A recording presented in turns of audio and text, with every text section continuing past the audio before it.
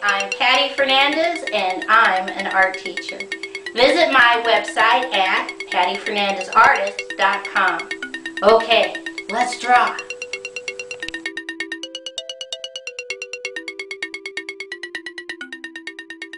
Today's project is how to draw a cliff dwelling in Arizona.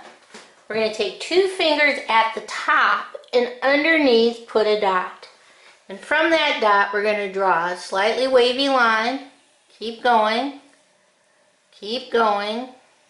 Keep going all the way over to the right.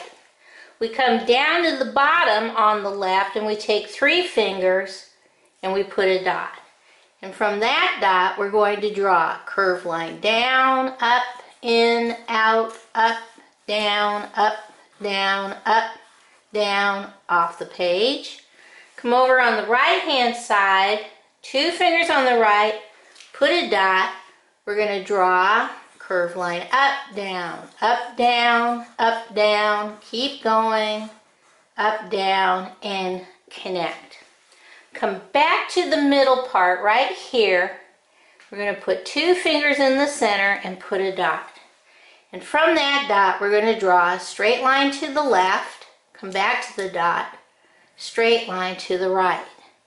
Come back to the left, we're going to draw a straight line down, straight line over, and leave it floating. Come on the right hand side, we're going to draw a straight line down, little curved line, straight line down, and leave that floating. Come right over here and let's put a dot.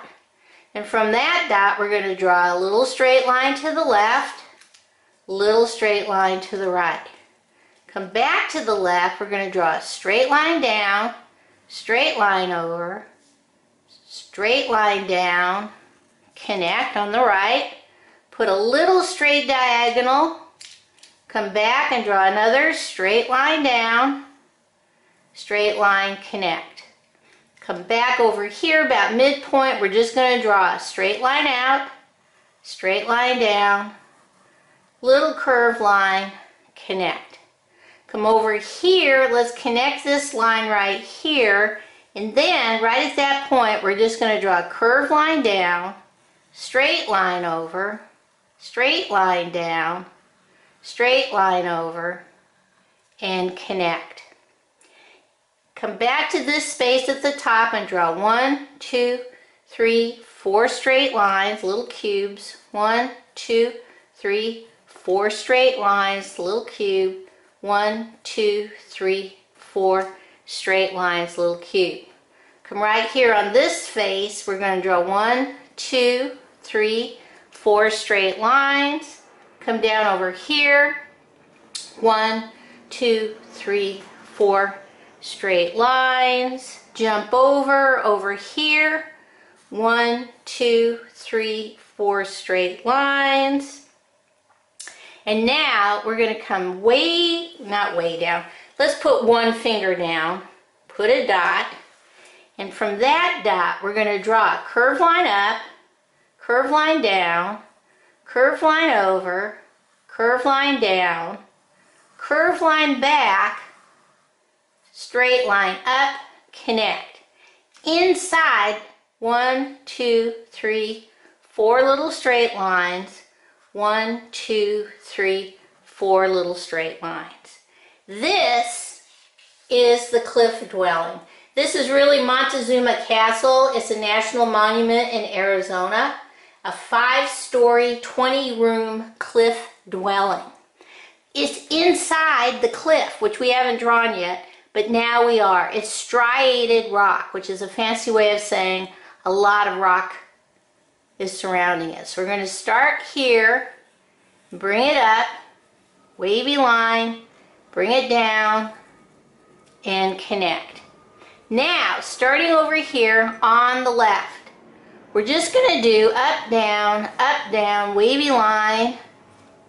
It hits that, jump over, up, down, up, down, wavy line. We're going to be doing a lot of this. So you can just pretty much fill in the space with these wavy lines, jump over, curved lines, wavy lines, And each one of these represents straight line, curved line, all the way over, jump over, straight line, curved lines. These all represent striated rock formations because the buildings are literally inside rock.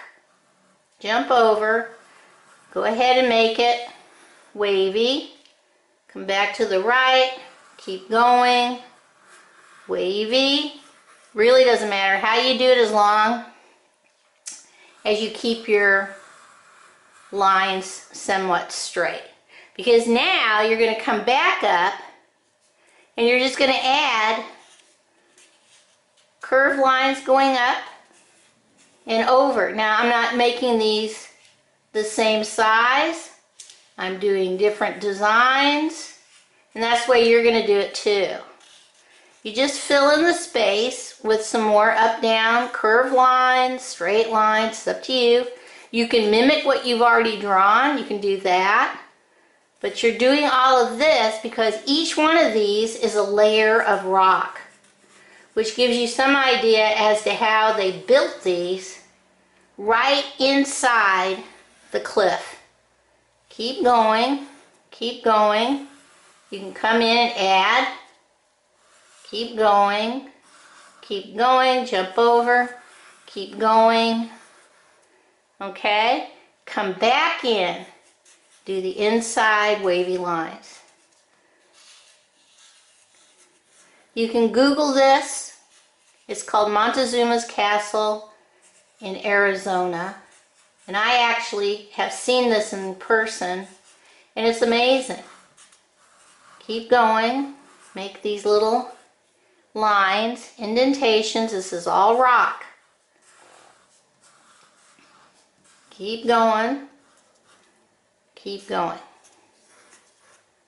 Okay, I think we're ready to color. Oh, let's add a little couple of lines right here.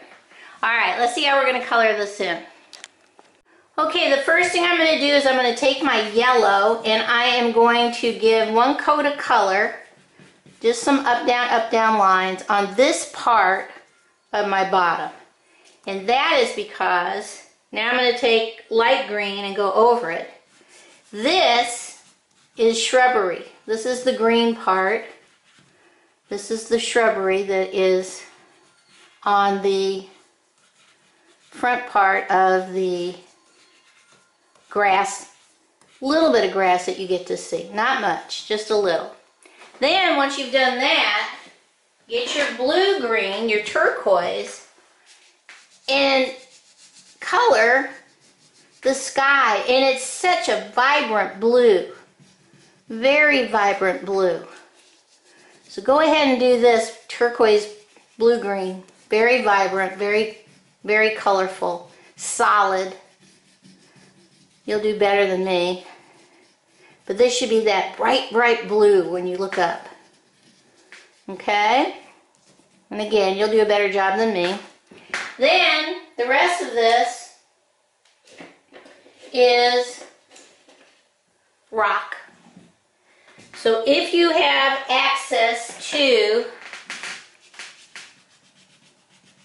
multicultural crayons, I'm just going to put a layer of apricot, peach, tan over the top of all of my buildings and my rocks. Just you're going to triple color the whole thing. So that gives you that sandstone look, okay? If you don't have this color, don't worry about it. You can use your brown, it's really light. The other color I like to use is a little bit of gray. You're gonna go over your rocks with some gray.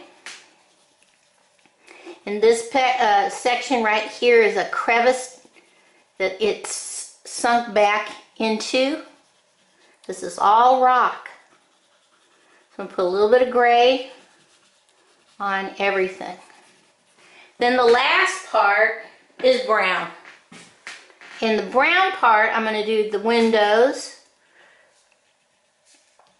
I'm going to add a couple of lines just to Give it some depth.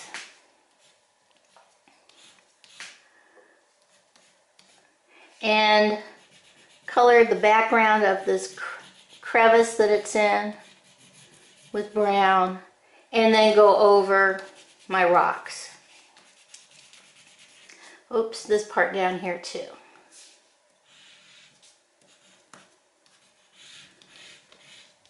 And you can really take your time. I'm not doing the best job, but every line you see, the way I always try to do is just put a line of brown. Then you'll get the idea. Doesn't have to be colored in, but follow the lines that you've already done. Okay? And if it looks like your building is disappearing, that's good because that's why they put them in the cliffs. It was for camouflage, to be above their enemies. Very, very smart. Okay, let's see what this looks like all colored in. Okay, here is Montezuma Castle. It's a national monument in Arizona. A good representation of cliff dwellings of the Native Americans. Okay, bye-bye.